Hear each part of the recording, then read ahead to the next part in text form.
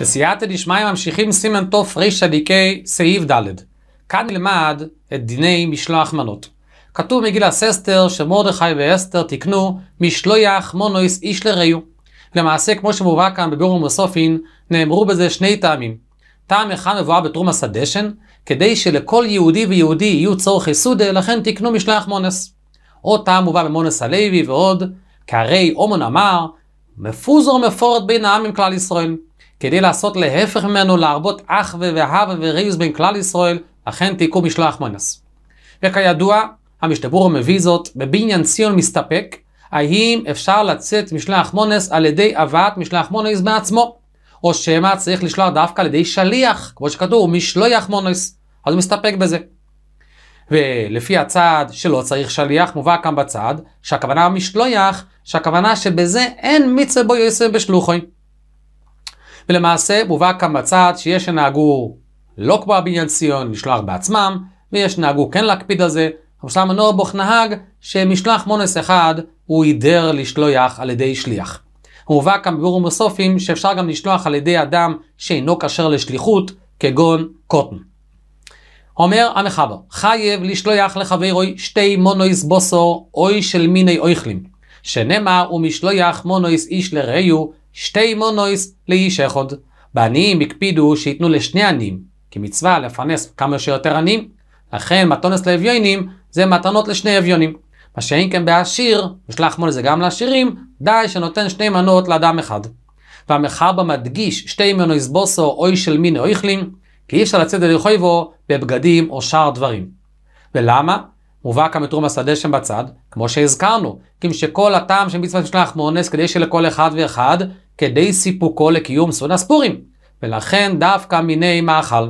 אומר המשתברורו, לאו דווקא מאכל, הוא עדי משקה, כי שתייה בכלל אכילה. וכמו כן הוא יכול להביא מאכל אחד ומשקה אחד, וזה יחשב לשתי מונס. מביא המשתברור המחלוקס. יש אומרים שצריך דווקא מין אוכל מבושל, שראוי מיד לאכילה, ולא בשר חי, כי כך משמע משלח מונס.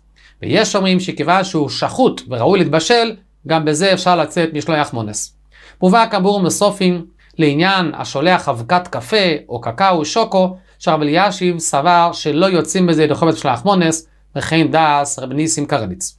אבל לשלוח דברי מתיקה, מובא יש לעבור מבוצ'אץ', שיוצאים בזה ידי חובת משלח מונס, וכן כתב הכף החיים שמנהג העולם לשלוח דברי מתיקה. אומר המחבר, מעיקר הדין, מספיק לשלוח משלח מונוס איש לרעהו. אבל וכל אמר בלשלוח לרעי משובוך. ואם אין לו, אין לו כסף, הוא לא יכול לקנות משלח מונוס. מה הוא עושה? מחליפים חברים. זה שולח לו זה סעודוסי, וזה שולח לו זה סעודוסי, כדי לקיים משלח מונוס איש לרעהו. הוא מוסיף המשתברורו, ואפילו אם הוא שולח לחברו את הסעודה, והוא עצמו הולך לסעוד אצלו, הוא גם יוצא דרכו משלח מונס, כי למעשה הוא שלח לחברו משלח מונס. הגומר הרמו, ויש לשלח מונס דווקא ביום ולא בלילה של ליל פורים. מובא כאן בביור מוסופים, בשם הדאסתירא מרשם, וכן דאס הגריש של ישיב, שאם אדם שלח משלח מונס לחברו לפני פורים, והמשלוח הגיע בפורים, יצא ידי חובתו.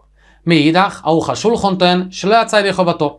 ובשו"ת חסם סופר רוצה לתלות את השאלה הזו במה שפתחנו, שיש שני טעמים לטעם משלח מונס. אם הטעם משום ריבו אבו וריוס, צריך שמעשה השילוח שמורה על כך יעשה בפורים עצמו.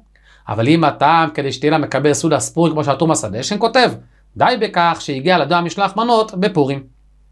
מוסיף המשתברורו, ועדים הטונס לאביונים צריך לקיים דווקא ביום ולא בלילה. אם לא היא שקיים המצווה אומר המשתברו דשילוח מונוס לאיש אחד, זה עיקר הדין, ומתונס לשני אביונים ביום, אין אף כמיני במשך רויצה לאויסיף עוד בלילו. ומובא כאן בצד רבי ינקב קמינצקי שיש כאן טעות, כי מה זה נקרא אם קיים והוא רוצה להוסיף בלילה במוצאי פורים? מה שייך? אלא צריך לומר שהכוונה אם דעתו לקיים ביום יכול להוסיף גם בלילה. כי את העיקר החיוב זה המינימום שצריך לתת משלח מונס לאיש אחד ושני מתנות לשני אביינים, זה הוא עושה ביום ובזה הוא יוצא ידי חובתו.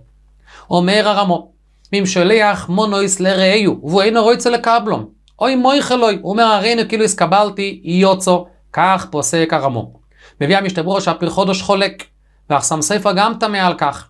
הוא מובא כאן בצד שחסם ספר טוען שתלוי בשני הטעמים. אם הטעם משום צורכי סעודה לא מועילה מחילה, כי למעשה הוא לא סיפק לו צורכי סעודה.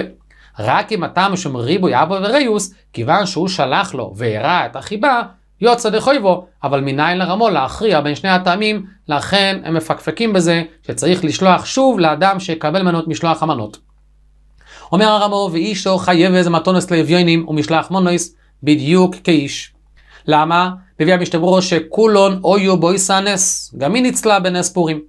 וצריכה היא לשמוח ולשמח לב אביונים, כמו שכתוב קימו וקיבלו היהודים וגם אנשים בכלל היהודים. כותב המוגן אברום, מביא המשתברו, לא ירואיסים נזורים בזה. לא ראיתי שאנשים מקפידות לתת מתונס לאביונים משלח מונס. טוען המוגן אברום שדווקא באלמנה, אבל אישה שיש לה בעל, הבעל כשהוא נותן והוא שולח, אז הוא נותן גם בשבילה.